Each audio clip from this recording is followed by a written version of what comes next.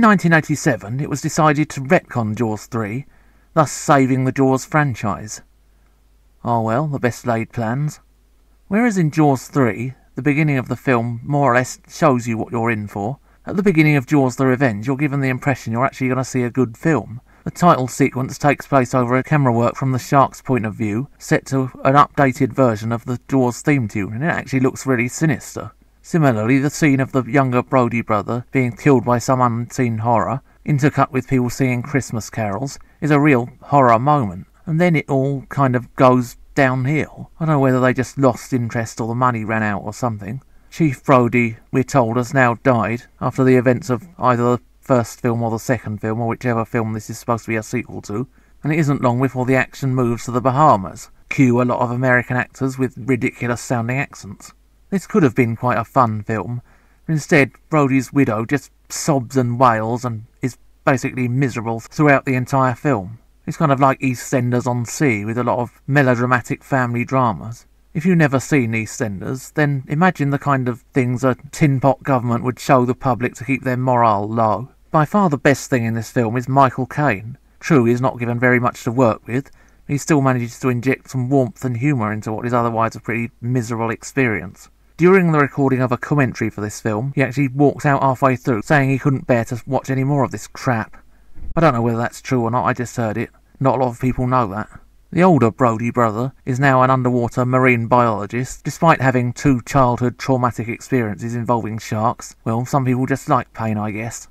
The shark actually manages to arrive at the Bahamas, having travelled halfway around the world in no time at all. So, folks, when you're going on holiday, forget about aeroplanes and ferries. It's travel by shark.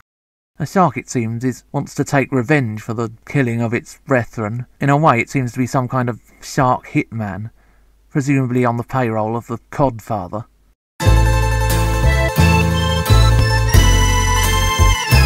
It attacks the Brody brothers' boat, then goes back into the depths in a pool of blood. Not quite sure why, obviously boats bleed.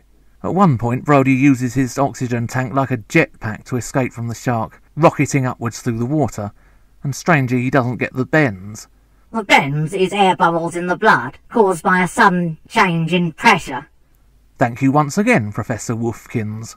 Another problem with this film is the pathetically low body count. The shark can't seem to kill anyone. At one point it grabs somebody, descends into the depths with them, strangely hovering above the water, and then a few minutes later they emerge once again, uh, completely unharmed. Kind of like the end of a cartoon where the little circle fades and everybody's alright, boys and girls. The original ending to this film had to be redone. Originally, the shark would have been impaled on the pole at the front of the ship and slid down it, but the effect just looked terrible.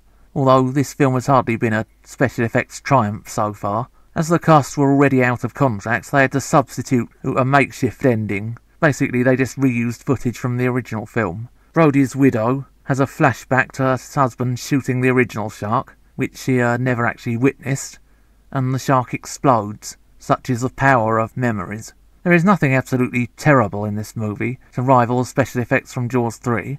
Unfortunately, there lies the problem. Jaws 3 was watchably awful, whereas this film is just boring. If you want shark action, then try the original Jaws.